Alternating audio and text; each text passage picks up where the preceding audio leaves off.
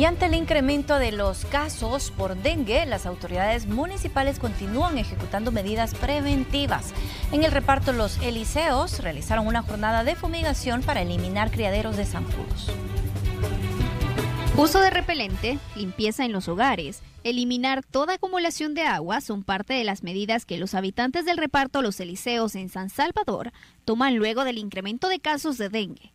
Residentes aseguran que las estadísticas de fallecidos los tiene en alerta. Pero si hay zancudos, porque uno está pendiente de estar fumigando a cada rato.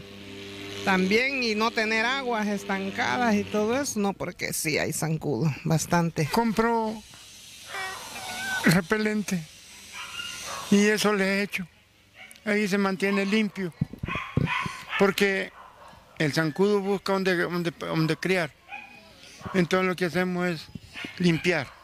En esta zona viven niños, adultos mayores, personas con enfermedades crónicas.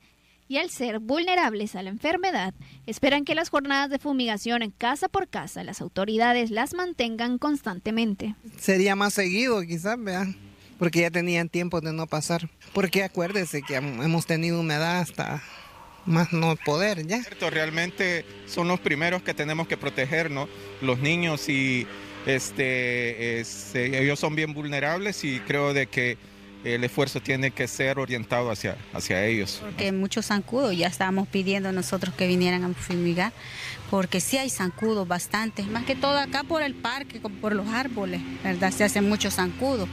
Alrededor de 200 casas entre el reparto de Los Eliseos, el Parque de la Zona, el Boulevard Altamira y el Pasaje Galicia fueron intervenidas en una jornada de fumigación por parte de la Alcaldía de San Salvador Centro para eliminar criaderos de zancudo, que hasta la fecha se han detectado casi un millón según Protección Civil. Con imágenes de Carlos Cle, un informe de Carla Araniva.